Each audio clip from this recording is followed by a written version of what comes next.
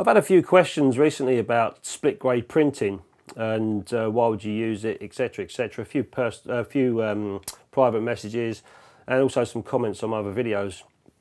So um, I thought I'd do a quick video on split grade printing, why I use it and how I use it. So in my particular photographs, I do like a punchy print. I like I like my blacks to be black and my midtones and the whites and highlights. I do like contrasty prints, so I use um, my filter set to create more contrast in my images.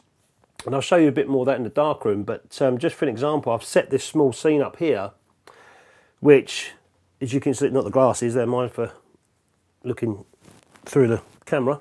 I've got a white lamp, yeah, the white diary, white lamp, blackboard, some pencils here, and a little bit of darker white at the back where the wall is, uh, a roll of FP4. So we've got we've got some nice tones going on here. So I'm going to take a few photographs using my Nikon F90X.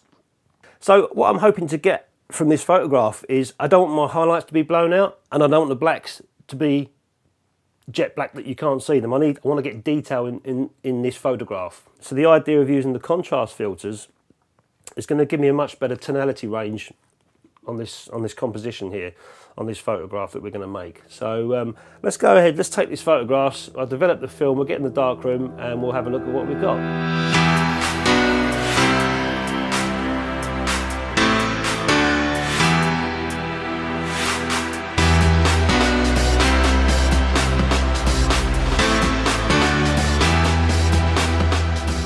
Okay, so I've developed the film now, we're back in the darkroom and I've just put uh, the negative on the enlarger and projecting it on the baseboard and I've got a complete range of tones here. You can see uh, the black matte board the back here is, is very dark. You can see the black on the camera,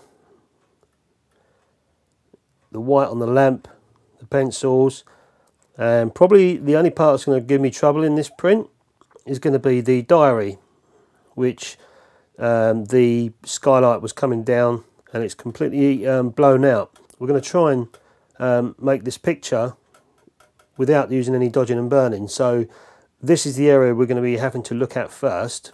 So let's do a few test prints without any filters and see what we can do. We'll see what we can come up with with the diary and hopefully try and get some detail uh, in, on the page. Okay, so this is the results from our first test strip. There's no filters on this at all, by the way. So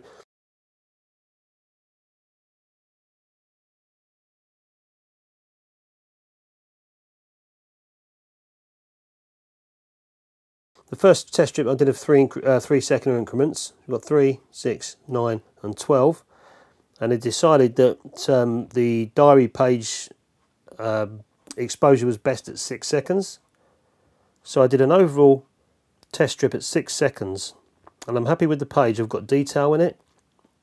And uh, we've got the writing on the page as well. You can just see the camera here. But unfortunately, the rest of the image it's just got too much contrast going on. So what I need to do is I'm going to do another test strip now with a, uh, low contrast filter, which is the zero filter, number zero filter. And I'm going to do the same test strip with that and see how much of the contrast we can hold back, but keep how much detail we can keep in the in the diary. Okay, and here's the test strip now with the with the contrast zero filter in, and uh, you can see I've done this in increments of four. So looking at this test strip, I'm looking again at the detail in the diary and also I'm looking at the contrast around the rest of the image. So I can see I've got a flat contrast here which I can work with but I've also still got detail in the book just here. So I'm going to go for 8 seconds, a test strip now for 8 seconds with a contrast zero filter in. So okay this has become our fourth test strip and I burnt this for 8 seconds with a contrast zero filter.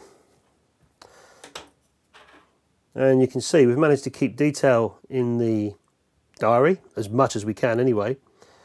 And now our shadow details, or our blacks in, in particular, are now very muddy. So we need to now pull the blacks out. And this is how when we start now using the higher filters. So I'm going to start with a contrast 5 filter. I think if I split grade this and go for 8 seconds with contrast 0 and 8 seconds with grade 5, the blacks are going to go too black. But I'm going to try it anyway. But my gut feeling says to me 8 seconds with grade 0 filter and 4 seconds with grade 5. But uh, let's, let's do the two and we'll see. Okay, so you can see this uh, these next two test strips I've done. You can see it starting to come together. This was the split grade at 8, eight seconds with uh, contrast 0 for 8 seconds and a contrast 5 for 8 seconds. We've got the book detail okay, but we've lost detail in the camera and the film. This time we've done uh, another split 8 seconds with the 0 filter which was our initial test. And this time we've halved the contrast 5 filter to 4 seconds. Now you can see we started to get some detail in the camera and the film as well, and we've kept the detail in the book.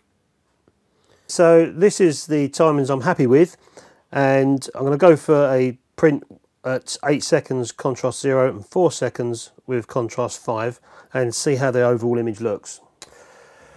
Okay, so that's uh, I've just done a final print. Now this was um, the very first test strip we did, and there's no filters on this. This is just six seconds all the way across, and I've got the diary and the lamp exposed nicely. It's not blown out, but the rest of the image is too contrasted. We can't see no detail in the camera at the bottom. So this is where the split grade or the or the or the uh, contrast filters came into play. Was for me to be able to control the contrast and keep my highlights um, so the next print above that, now when we come up to this print, you can see now I've controlled the contrast more. The uh, You can see more of the camera and the back wall isn't as uh, dark as the original image. So on this one where we use the contrast zero filter for eight seconds and the contrast five filter for four seconds, I've been able to control the contrast more and keep the highlights from blowing out. So that's how I'd use split grading in a situation, in a scenario like this. And of course, I set this up purposely so I've got highlights and I've got these dark areas as well. To, uh, it's a little bit more difficult to control, but you can see we've managed it by using split grading. And here we've got both of the prints together, so you can see the contrast is much more is much more the uh, print is much more darker on this on this image without using any uh, filters whatsoever. And with this one, we use the filters. We've got more pleasing tones and more tonality than we have here. So there you go. Hopefully I've answered your questions about split grading. You know, it's all personal preference and how, how you do it is going to be completely different to how I do it. This is how I do it. It works for me and uh, I know the formula that I use and I'm used to it. So there may be other videos on YouTube on how to do it differently. But uh, these are the filters that I've been using, which is Ilford multigrade filters, and they go just underneath the bulb, not underneath the lens. I haven't got any underneath the lens ones, so I use these ones. But um, yeah, so I hope you enjoyed that video. I hope you've learned something from it. As I said, it's all personal preference at the end of the day, and how someone else does it is different to how I do it. But it all works the same way. So um, yeah, keep printing, and uh, thanks for watching.